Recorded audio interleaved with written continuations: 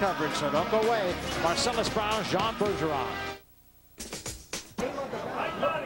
Bonus coverage now, six rounds. Jean Bergeron and Marcellus Brown. We're going six, and here we go. And Brown, uh, of course, uh, as you can see, quite an imposing figure. Bergeron is 6'5". That'll give you an idea. he didn't get a chance to look up at opponents too much. And Marcellus Brown, a huge man, comes out and lands the first meaningful punch of that fight at right hand. Marcellus is 23, 12, and 1. And Jean Bergeron, undefeated as a professional, 13 and 0. We'll let you know that Bergeron, who you see in the southpaw style in the red trunks, is was the 1996 Olympic Games representative for Canada in the super heavyweight division. Very popular as an amateur in Canada. He was four times the Canadian national amateur champion. So it's nice to get a chance to see him down here in the United States. See what he's got to offer. Marcellus Brown showing no fear, though. No, he's not. A couple of good body shots drove Bergeron off of him.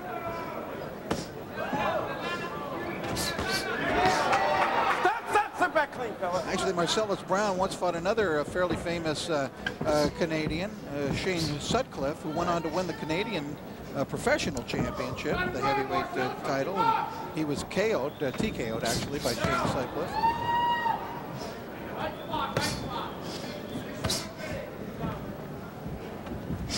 We'll see how Marcellus does here against the guy who's fairly inexperienced as a professional, Bergeron. He's fought a, a number of uh, fairly big-name uh, uh, heavyweights along the way. Uh, people like uh, Derek Jefferson and Danell Nicholson, King Ipitan. He, every time he's tried to really step up in class, he hasn't been able to uh, get the win, however. This is uh, Bergeron's third fight here in the United States. Fought a couple of times in Las Vegas, now down the road from Las Vegas here in Laughlin. Bergeron countering pretty well.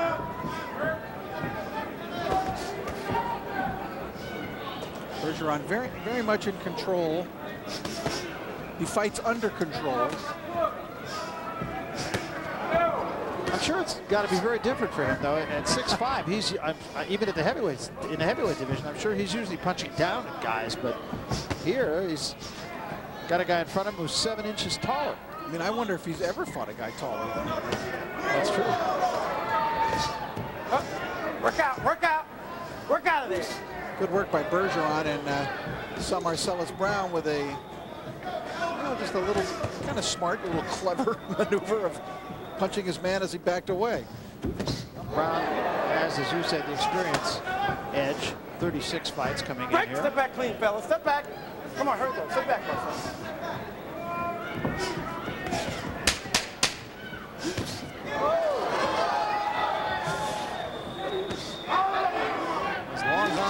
Arms of Brown are uh, causing Bergeron some problems. Time! Here's the tale of the tape brought to you by Just for Men Hair Color, and uh, there you see the big difference. right there and right here. 86-inch reach, Barry. That is bigger than George Foreman's reach was. A lot of George Foreman's reach, of course, was in his back, and that's not the case with Brown. He's just long arm. There's another George Foreman tactic. I'll just uh, stand up between rounds.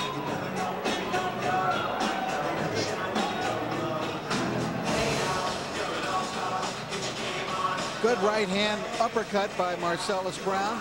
Close first round. Both guys had their moments in that uh, round. A lot of clean punches landed by both men.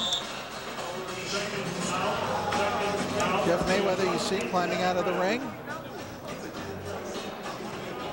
One of the many famed fighting Mayweathers now. Saw a whole plethora of uh, Mayweathers last night, of course. Roger Mayweather training uh, Floyd Mayweather Jr.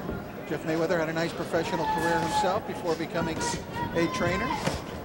And Floyd Mayweather Sr. a pro career and now training uh, Oscar De La Hoya.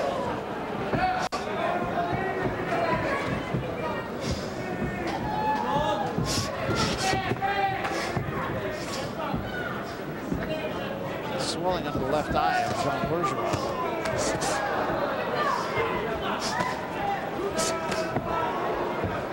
Pretty good upper body movement from Bergeron at times. Managed to to get under that shot of Marcellus Brown. Stop, stop, step back, fellas. Watch your heads. Watch your heads. I think it'd be pretty hard to headbutt Marcellus Brown.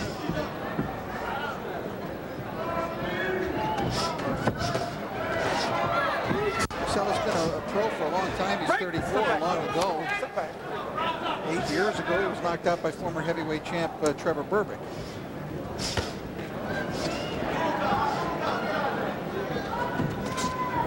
He's known as a fast starter, and he fought pretty well in the first round. Stamina, though, is a problem.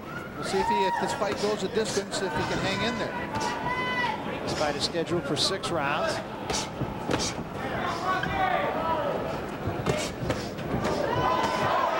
now Bergeron starting to pepper Marcellus Brown. Caught him on the way in that time. He's a clean puncher. He's a sharp puncher, Bergeron. Interestingly enough, Barry, though, he's had some problems. He's got Marcellus Brown has a cut on his tongue, and the mouthpiece came out. Or was never in. Oh boy. Here we go, Here we go. Time in. Let's go. And he was bleeding from the tongue. He stuck his tongue out at the referee, and uh, Kenny Bayless then said, "Best you put a mouthpiece in." And he was breathing heavily, I noticed, too, as they put that mouthpiece in. So that stamina problem that he's had. They already be coming uh, to the fore here. But Bergeron, I mentioned, he's had some uh, problems uh, physically. He's had surgeries to repair ligament damage in both elbows, which can't be good for his power.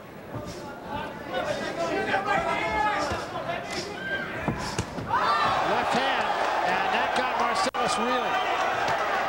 And Marcellus Brown trying to hold on. Oh, stop, stop, stop. Let him up, let him up. There you go. Kenny Bayless taking a long look into the eyes of Marcellus Brown. It won't take a lot here, I don't believe. Uppercut. Brown trying to hold on. And he's on very weak legs right now. Stop, stop, stop. Let him up.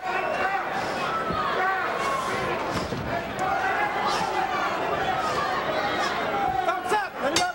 Brown has made it through that round, but he took a beating. He, he may want to sit down this round. He's got a stool up there. Jim Mayweather takes the mouthpiece out, but he's still not going to sit.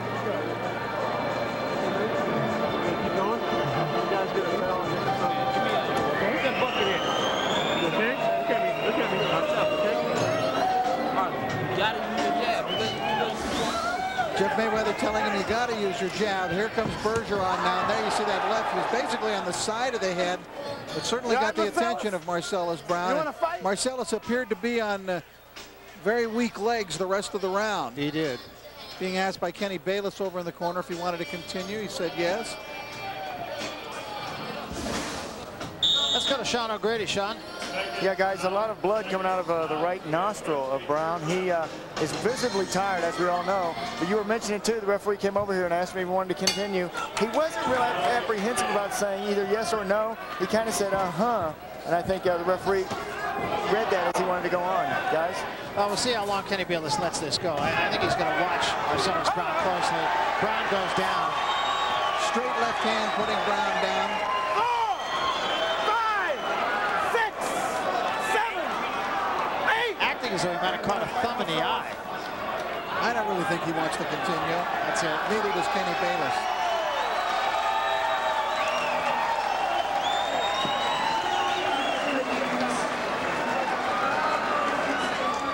So Bergeron had a tough uh, first round. And then after that, took control of the fight. Well, he's definitely for Brown a, uh, a trial horse, and at least in this case, Jean Bergeron has passed the trial with the flying colors. 28 years old, though. He's going to have to make a move uh, pretty quick. He is. He took a couple of shots early. Still some work to do for him. And uh, for Marcellus Brown, another tough night.